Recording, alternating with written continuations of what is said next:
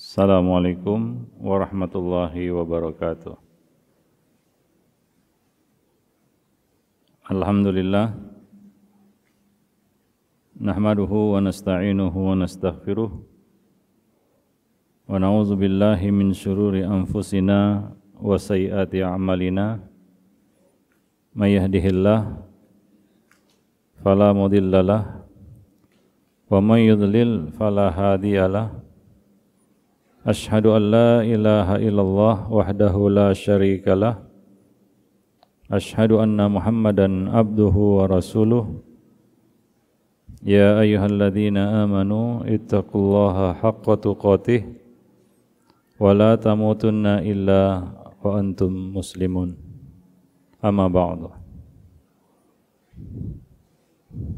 Para jemaah kaum muslimin dan muslimat yang dimuliakan Allah, Pertama kita bersyukur kepada Allah Subhanahu wa taala atas nikmat dan karunia yang Allah limpahkan kepada kita semua.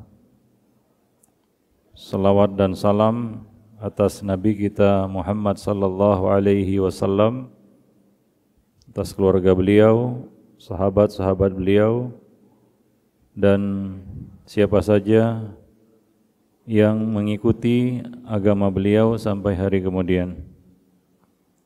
Para jemaah yang dimuliakan Allah, setelah kita mengerjakan sholat maghrib berjamaah, kita duduk sejenak di sini sembari menunggu datangnya waktu isya. Kita mengisi waktu dengan menuntut ilmu, mendengarkan nasihat. Mudah-mudahan bermanfaat bagi kita semua wa fa inna dzikra tanfa'ul mu'minin. Berilah peringatan sesungguhnya peringatan itu sangat bermanfaat bagi orang-orang yang beriman. Malam ini kita masih melanjutkan kitab atau buku ensiklopedi akhlak salaf. Kita masuk bab kedua pada malam ini yaitu akhlak mulia kepada sesama manusia. Dan biasanya kalau disebut akhlak maka maksudnya adalah akhlak kepada sesama manusia. Walaupun pada bab pertama pada pembahasan-pembahasan yang lalu kita berbicara tentang akhlak mulia seorang insan kepada Robnya kepada Allah pencipta. Nah, bab kedua ini akhlak mulia kepada sesama manusia. Ada beberapa bab di sini ya seperti akhlak kasih sayang, lemah lembut, menjaga lisan, mudah memaafkan dan beberapa bab-bab yang akan kita bahas di di uh, poin yang kedua ini atau bab yang kedua ini. Yang pertama adalah akhlak kasih sayang. Ya. Seorang muslim adalah seorang insan yang penuh kasih sayang. Menyayangi satu dan yang lainnya dengan yang lainnya. Karena semua manusia mendambakan kasih sayang dan kita juga lahir ke dunia dengan kasih sayang ya yang ditanamkan Allah pada hati kedua orang tua kita dan juga kasih sayang Allah kepada kita hingga kita bisa selamat lahir di dunia. Dan semua orang menyambut kita dengan kasih sayang. Begitulah kasih sayang dalam kehidupan manusia. Semua kita mendambakan kasih sayang. Dan kasih sayang mutlak itu diperlukan dalam kehidupan ini. Maka dari itu ya, setiap mukmin wajib menghiasi dirinya dengan akhlak mulia ini yaitu kasih sayang. Ya kita tidak boleh hanya mengharapkan curahan kasih sayang dari orang lain. Tetapi kita juga dituntut untuk bisa menebar kasih sayang kepada sesama manusia bahkan kepada makhluk-makhluk lainnya seperti hewan dan tumbuh-tumbuhan. Oleh karena itu dikatakan bahwa Islam adalah agama yang membawa kasih sayang bagi alam semesta. Dan seperti itulah akhlak Rasulullah sallallahu alaihi wasallam dan juga para sahabat. Mereka selalu berupaya mencurahkan kasih sayang kepada sesama makhluk Allah, terutama terhadap sesama mukmin. Allah mengatakan di dalam Al-Quran dalam surat Al-Fatah ayat 29 Allah mengatakan Muhammadun Rasulullah walladzina ma'ahu asyidda'u 'alal kuffar ruhama'u bainahum. Muhammad itu adalah utusan Allah. Dan orang-orang yang bersama beliau keras terhadap orang-orang kafir dan berkasih sayang sesama mereka ruhama bainahum. Inilah sifat yang Allah Subhanahu wa taala sematkan untuk orang-orang yang bersama Nabi. Mereka adalah sahabat-sahabat Nabi. Dan kasih sayang antar kaum mukminin tidaklah seperti kasih sayang antar umat-umat lainnya. Islam mengajarkan bahwa kasih sayang antar mereka, antara kaum mukminin satu dengan yang lainnya ibarat hubungan antara anggota tubuh satu dengan yang lain. Seperti yang digambarkan Nabi sallallahu alaihi wasallam dalam hadis Mathalul mu'minina fi tawaddihim wa tarahumihim wa ta'atufihim jasad. Perumpamaan kaum mukminin dalam sikap saling cinta dan saling kasih sayang di antara mereka itu seperti satu badan, satu tubuh. Idza minhu udwun tada'alahu sairul jasadi bis-sahari wal humma. Apabila salah satu bagian tubuh merasakan sakit, niscaya bagian tubuh lainnya juga turut merasakannya. Para jemaah yang dimuliakan Allah. Ya, namun sangat disayangkan Ya umat manusia kini sedang mengalami masa-masa krisis kasih sayang. Akhlak mulia ini menjadi sesuatu yang sulit kita temukan dalam kehidupan sehari-hari. Bahkan di antara kaum muslimin. Kecuali orang-orang yang dirahmati Allah Subhanahu wa taala yang tetap menebarkan kasih sayang kepada sesama manusia. Para jemaah yang dimuliakan Allah maka Allah Subhanahu wa taala akan membalas kasih sayang hamba itu dengan menyayangi hamba tersebut. Allah menyayangi hamba yang penyayang. Ya, Allah adalah Rabb yang Maha Penyayang dan membuka kitabnya dengan menyebutkan nama tersebut Bismillahirrahmanirrahim. Ya, dengan nama Allah yang Maha Pengasih lagi Maha Penyayang. Ya, Allah menyebut nama ini sebagai pembuka bagi kitab sucinya, bagi kalamnya. Ya, kasih sayang Allah Subhanahu wa taala itu sering diistilahkan dengan rahmat yang cakupannya sangat luas. Ya, meliputi semua ciptaannya. Tidak ada makhluk yang luput dari kasih sayang Allah Subhanahu wa taala. Dalam hal apa pun Allah Subhanahu wa taala selalu mendahulukan rahmatnya, kasih sayangnya atas murkanya. Seperti yang disebutkan di dalam hadis qudsi, "Inna rahmati sabaqat ghadabi." Sesungguhnya kasih sayangku mendahului kemarahanku. Kalau Allah memperlakukan hamba-hambanya dengan dosa-dosa yang mereka lakukan, maka tidak ada satu orang pun yang layak hidup di muka bumi mereka pasti mendapatkan murka dan kemarahan Allah Subhanahu wa taala. Tapi Allah Maha sayang kepada hamba-hambanya, makhluknya. Allah mendahulukan rahmatnya atas murkanya. Ya bahkan ditegaskan bahwa rahmat Allah itu mengalahkan murkanya. Dan rahmat Allah yang kita rasakan di dunia hanyalah satu dari seratus rahmatnya. Allah masih menyimpan 99 rahmat lainnya yang baru akan diperlihatkan kepada hamba-hambanya kelak yaitu pada hari kiamat. Ya, namun hanya orang-orang yang berilmu yang dapat mengetahui dan menyadari kasih sayang Allah Subhanahu wa taala. Rasulullah mengatakan dalam sebuah hadis, "Innallaha khalaqa yawma khalaqas samawati wal arda mi'ata rahmah."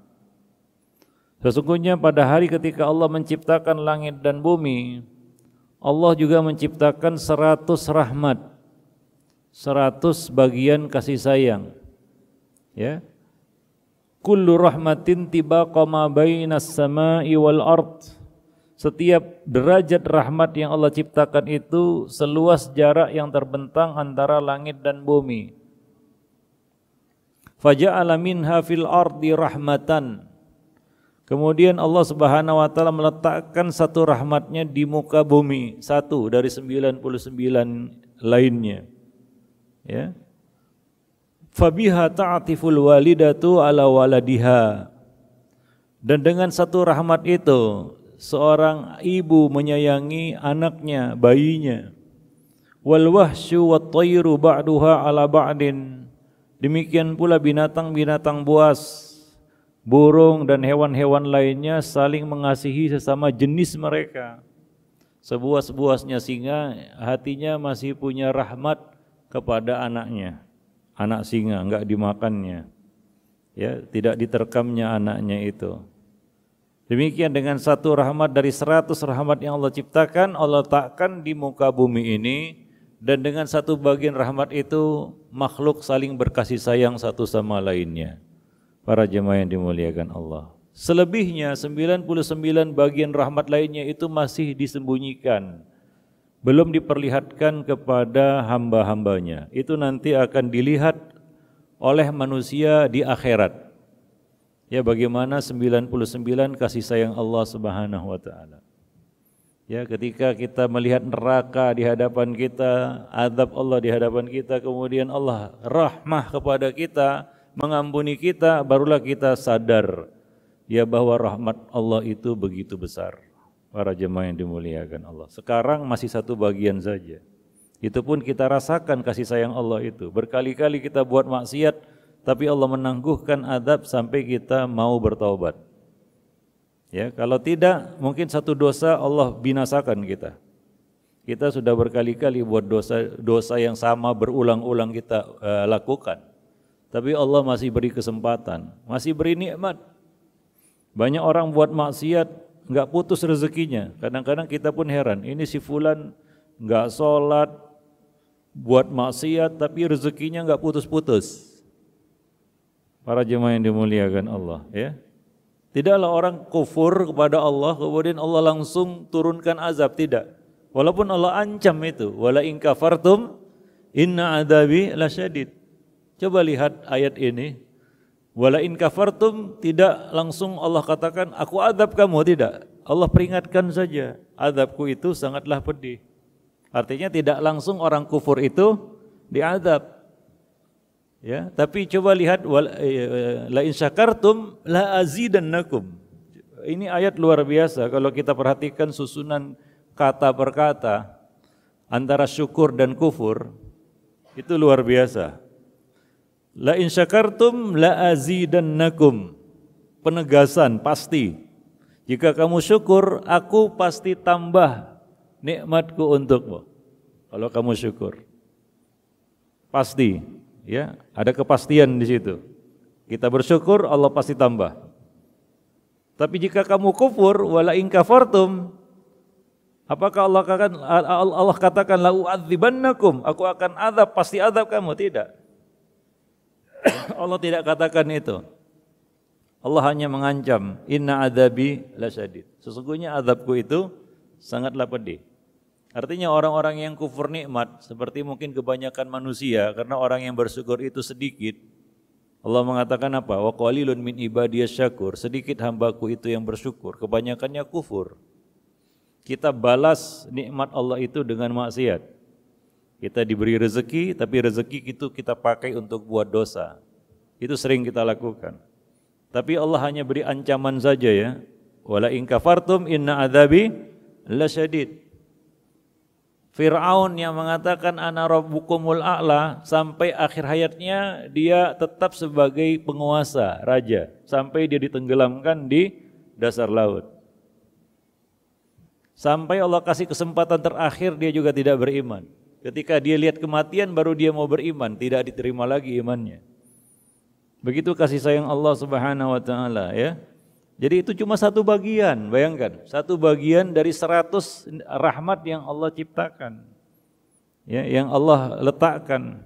99 rahmat Allah itu masih disimpan untuk manusia hamba-hambanya nanti di akhirat. Para jemaah yang dimuliakan Allah.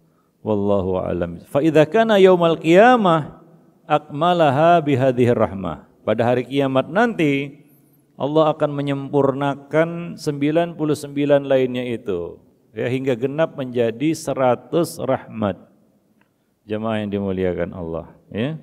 Nah, dalam riwayat lain disebutkan ja'alallahu rahmata mi'ata juz'in Sesungguhnya Allah menciptakan rahmat itu serat, dalam seratus bagian. Ya, ya fa amsaka indahu tis'atan wa tis'ina juzan. Allah masih menahan ya 99 rahmat itu di sisinya.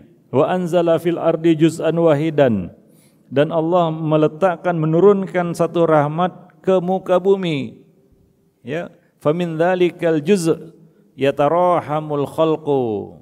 Dan dengan satu bagian rahmat inilah makhluk hidup saling mengasihi satu sama lainnya. Hatta tarfa al faras hafiraha an waladiha khasyata an tusibahu.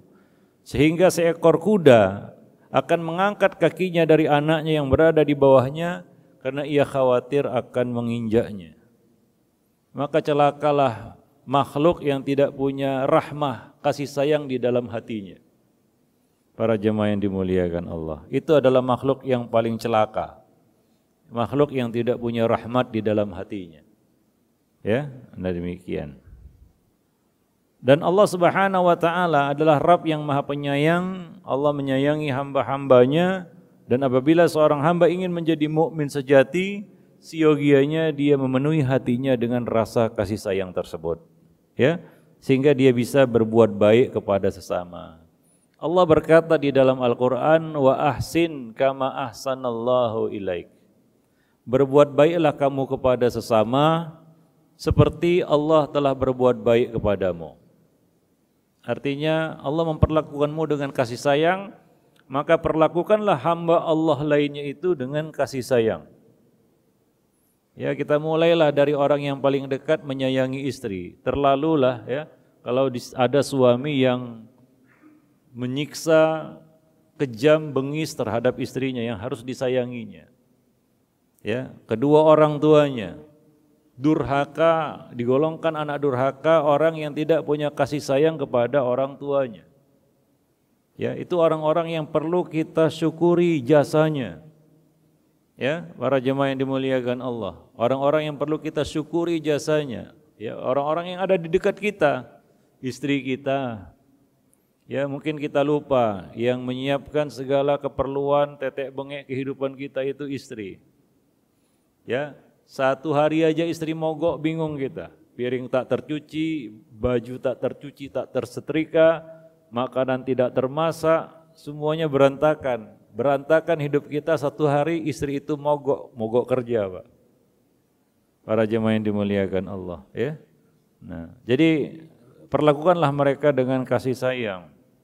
Demikian pula orang tua kita yang menjadi sebab kita lahir ke dunia wajib kita perlakukan dengan kasih sayang. Ya bahkan doa kita warhamhuma kama rabbayani saghira. Sayangilah keduanya kita minta Allah menyayangi kedua orang tua kita. Ya tentunya kita adalah orang yang lebih berhak untuk menyayangi keduanya. Para jemaah yang dimuliakan Allah. Nah kemudian ya kita katakan orang-orang yang punya jasa terhadap kita. Ya kita mulailah dari guru yang mengajarkan ilmu kepada kita. Para jemaah yang dimuliakan Allah. Mereka adalah orang-orang yang berjasa. Kita diajari dari tidak tahu menjadi tahu. Maka sayangilah mereka, hormati mereka.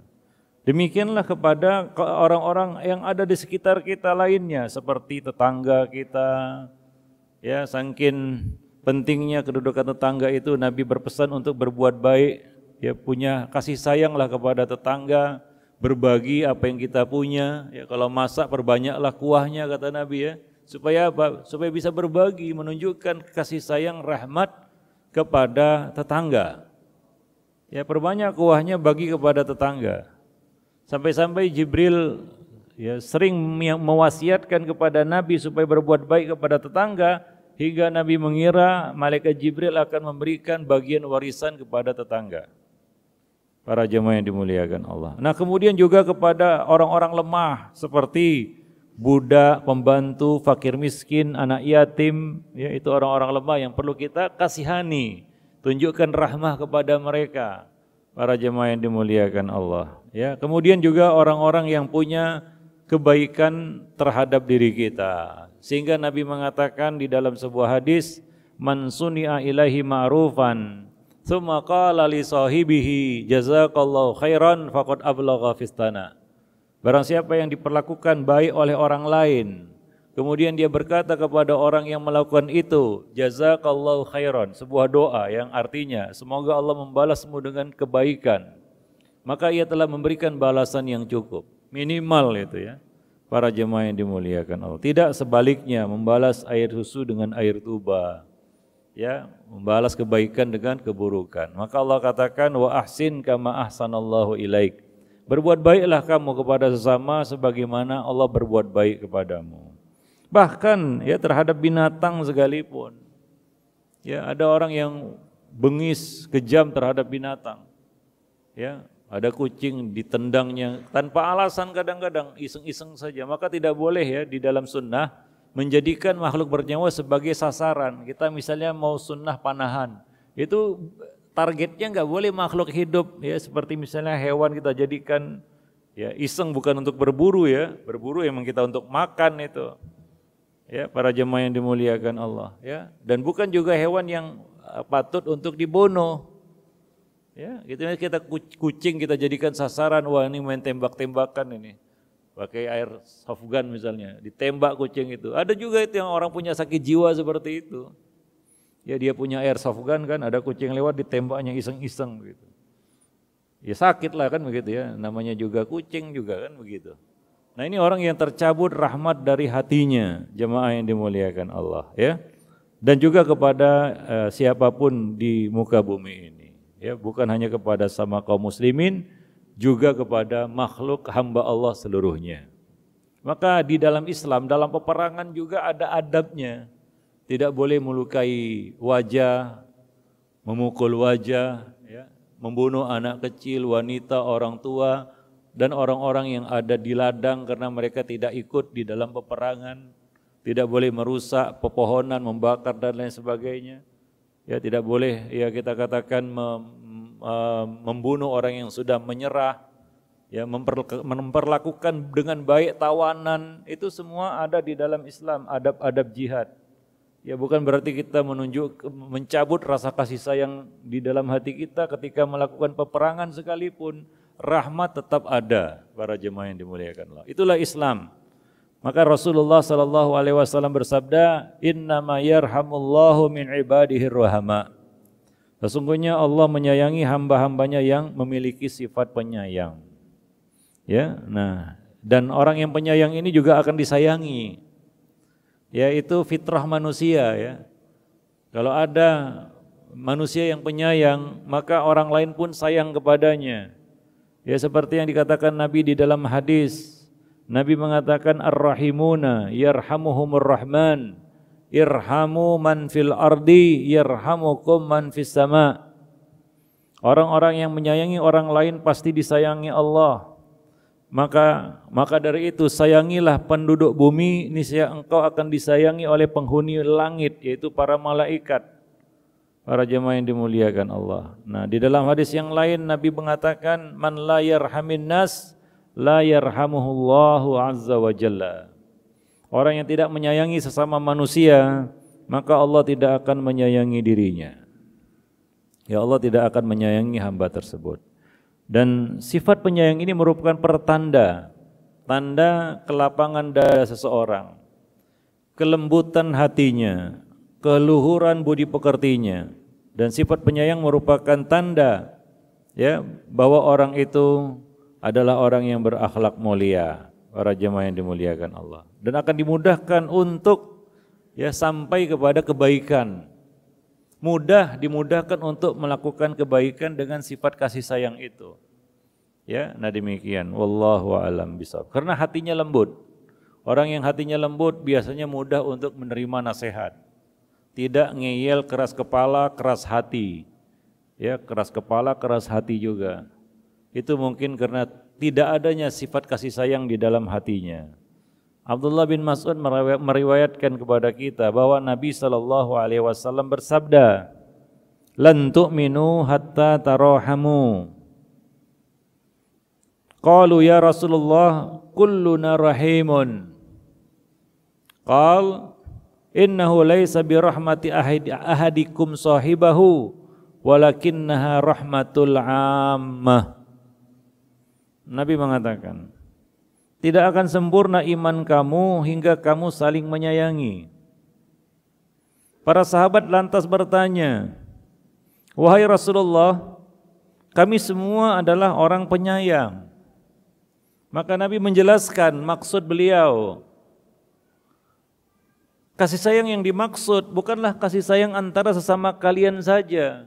Ya, kita kenal orang, kita sayangi dia karena dia menyayangi kita, itu normal.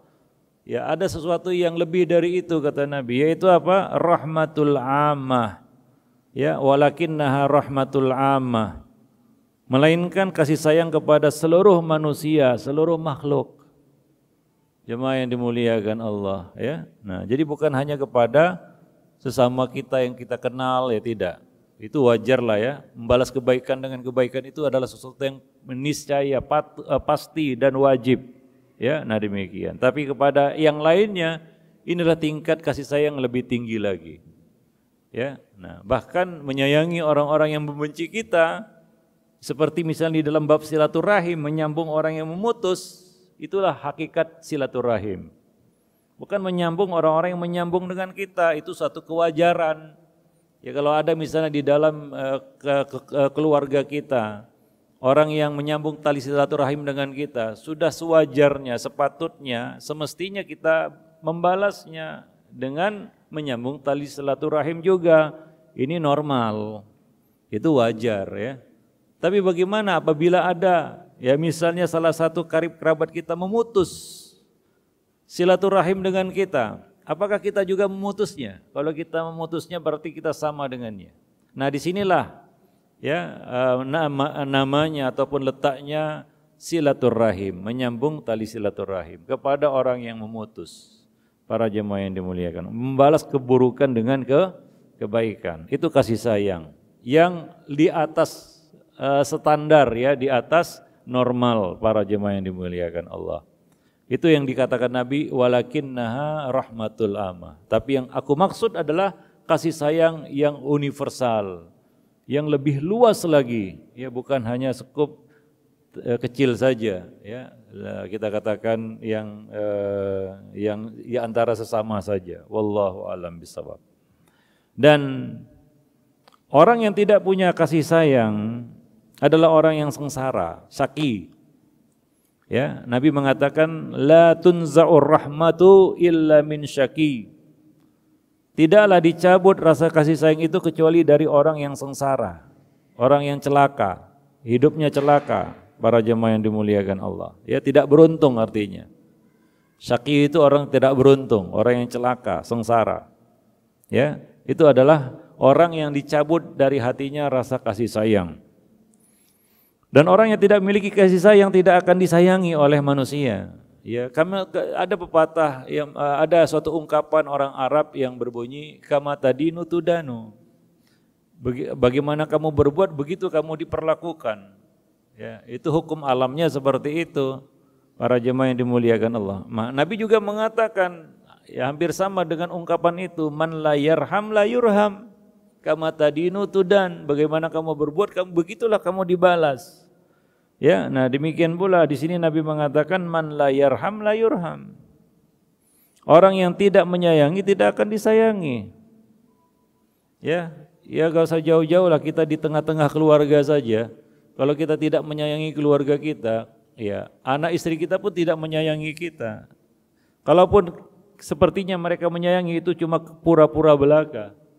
Ketika kita tidak berada di rumah, mereka riang gembira.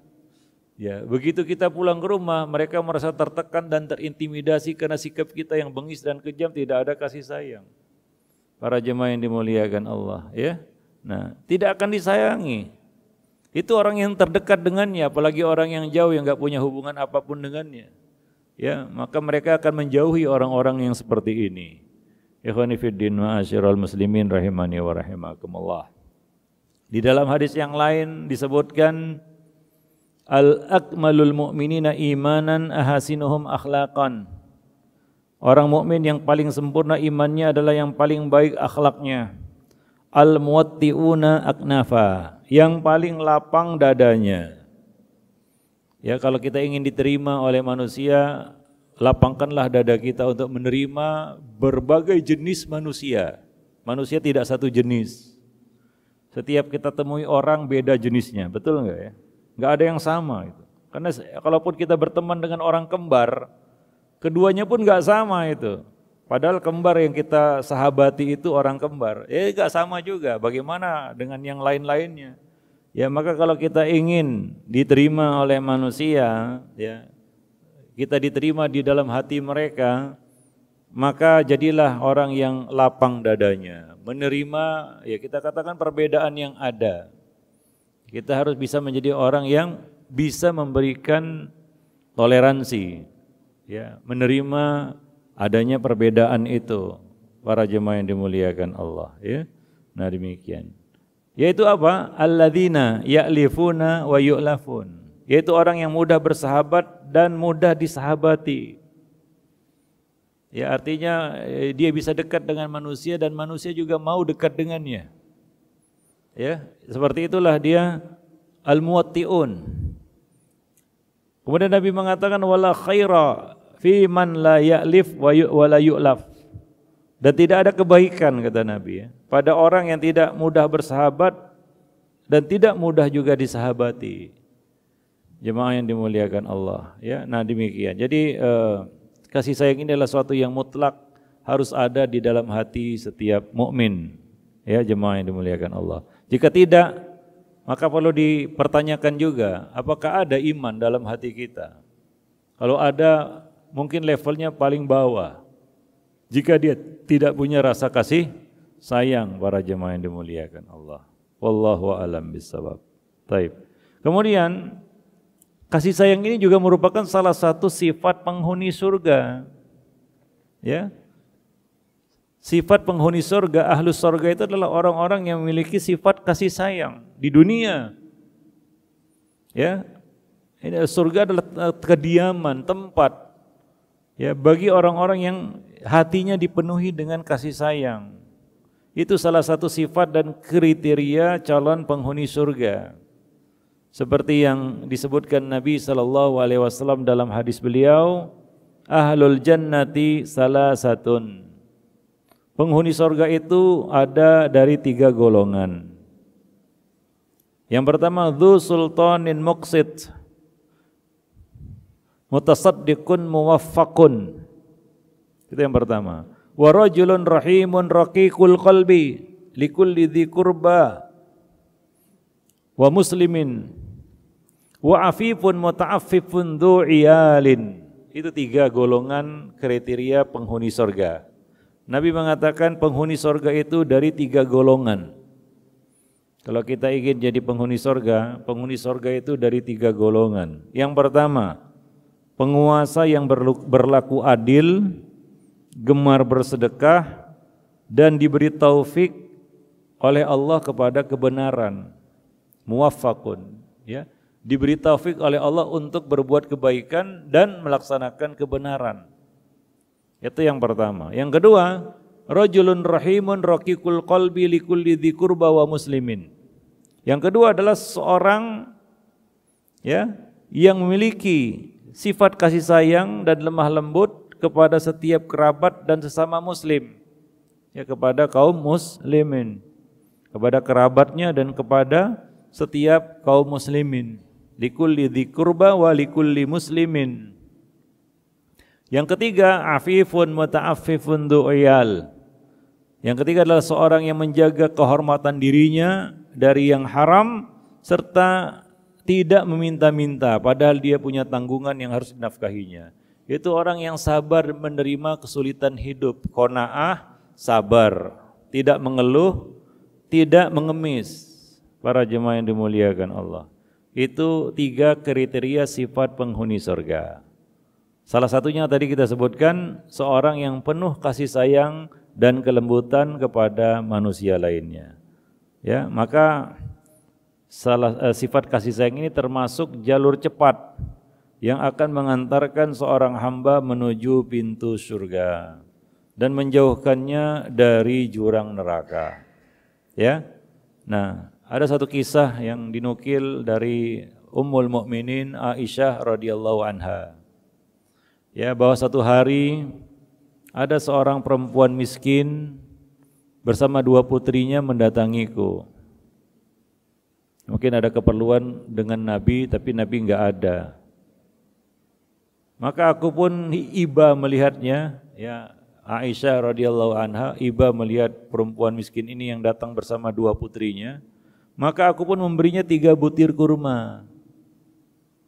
Ya, disuguhi tiga butir kurma. Ya tamu menghormati tamu ya. Enggak punya apa-apa di rumah Nabi yang ada kurma. Itu pun dia itulah yang disuguhkan oleh Aisyah kepada mereka bertiga. Tiga butir kurma. Lalu wanita itu kemudian memberikan satu butir kurma kepada setiap putrinya. Ya, tiga, ya masing-masing satu ya. Nah, ketika ia hendak mengangkat sebutir kurma itu ke mulutnya, ya bagian dia ya. Kedua putrinya terlebih dahulu memakannya, lalu meminta kurma itu darinya. Anak-anak dikasih makanan, begitu dikasih ya langsung dimakan. Ya, kalau ibunya tentunya mungkin perlu berbahasa basi lagi dengan Aisyah, ya agak lama mungkin. Ya ternyata kedua anaknya sudah lebih dulu menghabiskan butir eh, korma mereka. Setelah itu mereka melihat ibunya yang masih memegang kurma. Maka ia pun tahu bahwanya putrinya, kedua putrinya ini ingin kurma tersebut. Maka ia pun membagi dua ya kurma itu yang ada di tangannya tadi lalu memberikannya masing-masing kepada kedua putrinya tadi. Aisyah mengatakan aku takjub melihat sikap wanita itu kepada kedua putrinya. Sepulangnya Nabi, Aisyah menceritakan peristiwa itu kepada Nabi sallallahu alaihi wasallam. Jadi bagaimana seorang ibu menyayangi kedua putrinya sehingga rela berkorban ya, tidak makan demi putrinya, demi anak-anaknya. Ini luar biasa. Ya, ya orang tua harus memiliki sifat kasih sayang seperti itu. Ya kita lihatlah, ya lihat singa itu ya, dia berburu. Ya, hasil buruannya dia berikan dulu kepada anaknya. Ternyata dia berburu untuk anaknya. Dia, tidak dia makan ya sendiri enggak. Dia bawa kepada anaknya, anaknya makan sudah kenyang anaknya baru dia santap. Mungkin pernah lihat itu di National Geographic ya. Iya. Dia berburu itu susah payah itu. Ya, singa betina itu berburu dapat rusa atau dapat binatang beruan itu dibawanya ke anaknya dulu. Anaknya sudah puas makan baru baru dia makan. Luar biasa ya. Binatang buas itu. Ya, seharusnya manusia bisa lebih dari itu. Ya, para jemaah yang dimuliakan Allah. Maka setelah mendengar cerita Aisyah tadi, Nabi mengatakan, Inna Allah qad aujabalaha bihal jannah au a'taqaha biha minan nar. Sungguh Allah telah menjamin wanita itu akan dimasukkan ke dalam surga atau membebaskannya dari api neraka karena kasih sayangnya itu kepada kedua putrinya. Wallahu alam bisawab. Nah demikian para jemaah yang dimuliakan Allah ya eh, apa yang bisa kita sampaikan dalam kesempatan eh, malam ini mudah-mudahan bermanfaat dan mudah-mudahan kita bisa menyematkan sifat ini pada diri kita. Subhanakallah bihamdik Asyhadu an la ilaha illa anta astaghfiruka wa atubu ilaik. Assalamualaikum warahmatullahi wabarakatuh.